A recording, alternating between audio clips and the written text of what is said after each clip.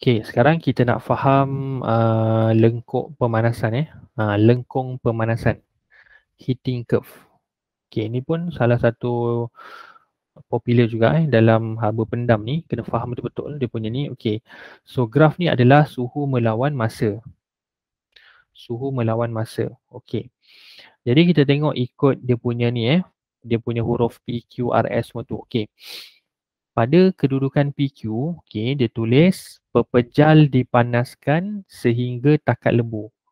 Ha, maksudnya P tu adalah suhu awal bahan tu, Q tu adalah dia punya takat lembu. Okay, kalau kita tengok graf warna biru ni naik. Masa pemanasan bertambah, suhu bahan pun bertambah. Okey, yang ni penerangan dia ada tiga poin. Haba diserap. Uh, maksudnya bahan tu, bahan pepejal tu menyerap haba daripada luar eh haba daripada luar diserap oleh bahan tu menyebabkan suhu dia bertambah. Kan kita faham konsep bila haba serap suhu bertambah. Eh bila suhu bertambah maksudnya tenaga kinetik molekul pun bertambah. Eh jadi maksudnya molekul tu bergetar bergerak lebih laju. Okey kalau pepejal dia bergetar lebih laju lah. Okey ha. Boleh kan kat situ?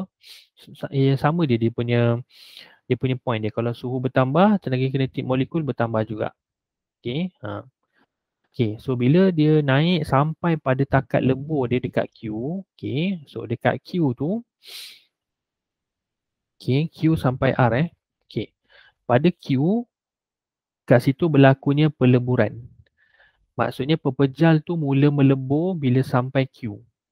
Okay. Daripada P dan suhu dia naik. Dia pepejal naik, naik, naik, naik. Lepas tu sampai dekat Q dia start melting sikit-sikit uh, dia start melebur sikit-sikit dekat Q eh.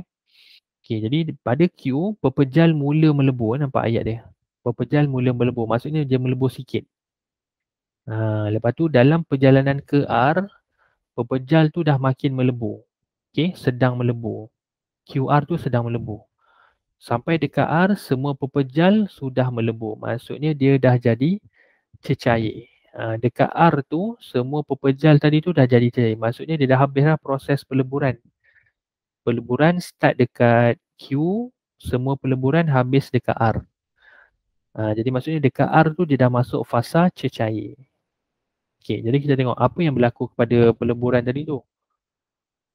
Okey, haba pendam diserap untuk melemahkan ikatan molekul eh. Haba pendam diserap maksudnya mol, uh, pepejal tadi tu menyerap haba daripada luar okay, untuk lemahkan ikatan. Lemahkan ikatan tu maksudnya sebahagian ikatan daripada pepejal tu dah putus dah.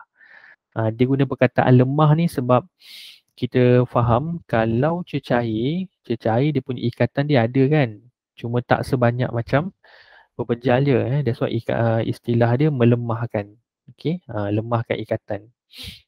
Okay, haba pendam tu melemahkan ikatan antara molekul Okay, molekul dibebaskan daripada kedudukan tetap dan bergerak antara satu sama lain. Nampak?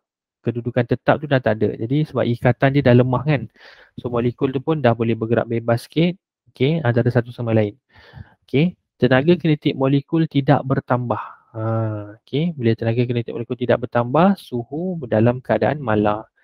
Sebab tu kalau dekat graf ni kamu tengok QR. Okay, QR tu suhu dia sama je. Tak naik, tak turun. Okay, QR tu suhu dia sama je. Iaitu suhu dia malar sebab tenaga kinetik molekul tidak bertambah. Sebab haba yang dibekalkan pada bahan tu, dia pergi kepada ikatan. Dia bukannya pergi kepada getaran molekul. Ha, kalau pergi kepada getaran molekul, suhu dia naik. Okay, haba tu pergi kepada ikatan. Dia attack kepada ikatan tu untuk lemahkan ikatan. Okay, sebab tu nama dia haba pendam. Pendam tu maksudnya uh, dia tak tunjuk pun pada suhu tu. Haba tu ada pada bahan tu. Bahan tu serap haba tapi suhu bahan tu tak naik. Uh, sebab tu nama dia haba pendam. Dia tak tunjukkan dia punya haba tu pada nilai darjah Celsius dia berapa naik ke turun. Eh, dia tak tunjuk pada apa perubahan suhu. Okay, that's why kita panggil haba pendam. Eh, kalau muatan haba tentu kita nampak kan suhu bahan tu naik ataupun turun. Okay, ha, jadi kat situlah beza antara haba pendam dan juga muatan haba. Eh. Okay, seterusnya kita tengok RS. Okay, RS bila bahan tu dah mula apa dah semua dia jadi cecair, kita teruskan pemanasan. Okay, sepanjang masa PQRSTU ni kita tak kita tak henti pun pemanasan, kita terus. Eh. Okay, cecair dipanaskan sehingga takat didih. So takat didih berada pada S. Eh, takat didih pada berada S. Okay, penerangan dia sama, haba diserap, suhu bertambah, tenaga kinetik molekul bertambah. Sama dia macam PQ. Okay, RS sama cerita dengan PQ. Cuma beza dia RS ni bahan dah jadi cecair. PQ tadi pepejal. Okay. Jadi kalau kita nampak sebenarnya fasa PQ dengan RS ni adalah fasa dalam konsep muatan haba tentu. Okay, dalam konsep muatan haba tentu sebab ada pertambahan suhu. Okay, sebab dua-dua ni PQ dengan RS ada pertambahan suhu. Eh, sama juga lah dengan TU dekat ujung ni. Eh. Ada pertambahan suhu. Okay, sekarang kita tengok uh, ST pula eh. ST adalah fasa pendidihan sebab dia dah uh, dia dah sampai takat didih eh, dekat S. Okay, so untuk S suhu uh, cecair mula mendidih. Uh, dia dia mendidih sebab dia sampai takat didih. ST sedang mendidih. T semua sudah mendidih. Okay, maksudnya dekat T tu dah jadi gas semua dia dah tak ada dah cecair dah tak ada. Okay. Jadi haba pendam yang yang berlaku pada fasa ST tu okey diserap untuk memutuskan ikatan antara molekul. Ha, kalau tadi melemahkan, peleburan melemahkan, pendidihan ni memutuskan sebab kita tahu bila sesuatu bahan tu dah jadi gas, memang dah tak ada dah ikatan pada bahan tu. Antara molekul dengan molekul tu dah tak ada ikatan sebab masing-masing bergerak bebas kan. Okey bergerak pada arah yang rawak. Okey bergerak secara rawak. Okay, molekul dipisahkan jauh antara satu sama lain. Okay. Tenaga kinetik molekul tidak bertambah, suhu mala. Okay, sama je macam peleburan tadi. Okay, pada fasa haba pendam, suhu tidak berubah, tenaga kinetik molekul pun tidak berubah juga. Okay, uh, so lepas tu dah jadi gas. Okay, gas dipanaskan, suhu gas akan bertambah, tenaga kinetik molekul gas pun bertambah. Okay, so macam itulah. Jadi kat sini kita boleh tahu untuk kita kenal pasti haba pendam ada dua tempat iaitu tempat yang suhu bahan tidak berubah iaitu QR dan juga ST. QR dan ST ni ada haba pendam. Jadi macam mana nak beza dia? Okey, QR haba pendam pelakuran.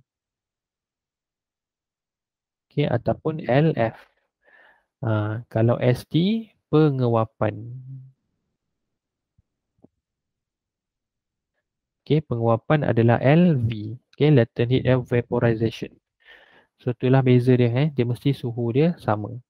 Okay, PQ, RS dan TU tu adalah fasa muatan haba. Ha, muatan haba tentu. Sebab ada perubahan suhu. Ada kenaikan suhu, ada muatan haba. Eh. Kalau suhu bahan tetap, ada haba pendam. Ha, so satu je lah beza dia. Okay. Ha. Okay, ada nak tanya tentang lengkung ni? Boleh faham eh? Hmm. Okay, kita tengok pula. Boleh. Ha, okay, terima kasih. Kita tengok pula lengkung penyejukan. Okay, lengkung penyejukan dia terbalik je dengan pemanasan. Okay. So, dia guna simbol yang sama. PQ semua RSTU. Okay. So, PQ bila dah kata penyejukan, bahan tu bermula daripada gas lah. Kita ambil contoh gas. Okay. PQ gas menyejuk. Okay, kalau kita nampak pun suhu dia turun kan. P tinggi, Q lebih rendah. Okay, gas menyejuk sehingga takat didih, haba dibebaskan. Maksudnya gas tu membebaskan haba ke persekitaran. So bila haba dibebaskan, suhu dia berkurang, tenaga kinetik purata molekul juga akan berkurang. Okay, suhu dia menurun. Okay, sampai dekat Q, bahan tu dah mula uh, terkondensasi. Okay, uh, dia terkondensasi. So, jadi dekat Q, Okay, gas mula terkondensasi. Nampak istilah dia, terkondensasi, QR sedang terkondensasi dan R semua terkondensasi. Uh, maksudnya R tu dah tak ada lagi gas, semua dah jadi cecair. So macam itulah. Eh haba pendam dibebaskan. Nampak eh? Dekat penyejukan ni semua istilah bebas. Istilah haba dibebaskan. Eh? Okey, haba pendam dibebaskan supaya molekul membentuk semula ikatan, molekul bergerak antara satu sama lain, tenaga kinetik molekul tidak berkurang, suhu malar. Sama je kelas eh. Uh, haba pendam, suhu malar eh. Macam tu. Okey, RS. RS, cecair menyejuk sehingga takat beku. Uh, cahaya sejuk. Jadi RS ni suhu dia turun, sama haba dibebas, suhu berkurang, tenaga kinetik molekul berkurang. Okey. Sampai dekat S, uh, cecair tu semua dah membeku. Okey, dah tak ada dah tak ada cecair dah. Okey. Kemudian S pula cecair mula membeku. Okey, lepas tu dia membeku sikit-sikit dan akhir sekali T tu semua dah jadi dah jadi pepejal dah. Okey, T tu sudah jadi pepejal. Okey, haba pendam dibebaskan. Okey, supaya ikatan molekul dikuatkan. Eh, tadi membentuk ikatan yang ni kuatkan balik sebab dia jadi pepejal kan rapat-rapat. Okey, molekul bergetar pada kedudukan tetap. Ha, tenaga kinetik molekul tidak berkurang suhu malar. Okey. Kemudian TU pepejal menyejuk, haba haba daripada pepejal tu dibebaskan, suhu berkurang, tenaga kinetik molekul berkurang. Okey. So jadi dekat sini dia terbalik je lah eh, ayat dia. Cuma istilah tu kena hati-hatilah dia banyak bebaskan eh bila graf penyejukan. Kalau graf pemanasan, haba diserap diserap tu maksudnya bahan tu lah menyerap haba eh. Okey, dekat sini pun ada juga uh, haba pendam. QR ni adalah haba pendam pengawapan. Okey, L, V. Okey, sebab daripada gas jadi cecair. Gas jadi cecair kan, so penguapan lah. Okey, manakala ST adalah pelakuran. Okey, LF.